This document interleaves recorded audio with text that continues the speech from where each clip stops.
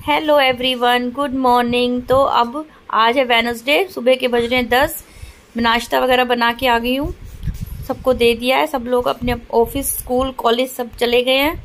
तो उसके बाद मैं आ गई हूँ ड्राइंग रूम में। इसकी सफ़ाई करने। सारी कमरे को अस्त व्यस्त कर दिया। सोफे वोफे के कवर इधर उधर करके। और ये पूरा क्लीन करा। जाले हटाए। सारा धोया। ये सारे पर्दे वगैरह हटा के। सारे दरवाजे, खिड़की सब साफ़ किए। देखो, सब पूरा फर्श ना मिट्टी मिट्टी हो गई थी पूरा, क्योंकि थोड़ी सी ना दीवार में से भी सफ़ेदी वगैरह हट रही थी तो उसको पूरा धोया। बाहर की पार्किंग भी अच्छे से धोई, क्लीन करी। उसकी टाइल्स वगैरह पे भी सारा ब्रश मार के रगड़ा, सारा पूरे पार्किंग में, गैलरी में पूरा धोया अच्छे से। बाहर, गेट के बाहर भी झाड़ू वगैरह लगाई वहाँ से भी धोया। और यहाँ देखो, ये रखा हुआ है हमारा, वहाँ सामने दिख रही है जो, शू रैक है, वहाँ डस्टबिन है। और ये जो चौकी रखी है, यहाँ पर बैठ के ही सब लोग शूज़ वगैरह पहन लेते हैं। तो अंदर घर में लाने की ज़रूरत नहीं होती, बाहर की बाहर ही पहन लेते हैं। और ये देखो विंडो वगैरह भी मैंने खोल के अच्छे से पानी से धो दी और पूरी गैलरी को भी।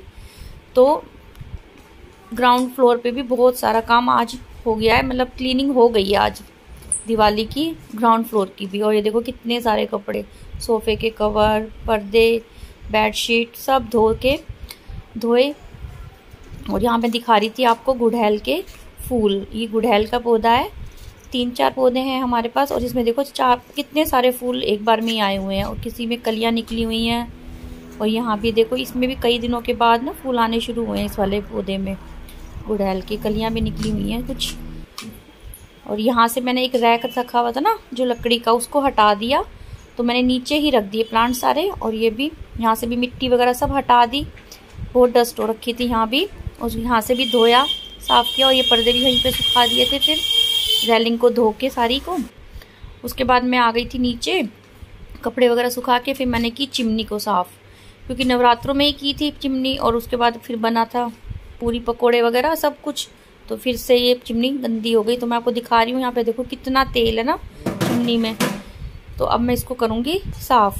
तो इसके लिए मैंने ले लिया वाइट विनेगर और विम जेल इन दोनों को मिला के और उस पर थोड़ा थोड़ा थोड़ा पानी भी मिला लिया था गरम, और उसमें जो चिमनी की जो जाली निकाली है मैंने, उसको भी गर्म पानी से एक बार धो लिया था, ताकि वो उसका जो तेल वगैरह वो निकले। क्योंकि बिना गर्म पानी के कितना भी रगड़ लोगे, नहीं निकलेगा। क्योंकि मैंने सारा गर्म पानी से ही धो के एक बार फिर इसमें सरफ ये, विम जेल और ये जो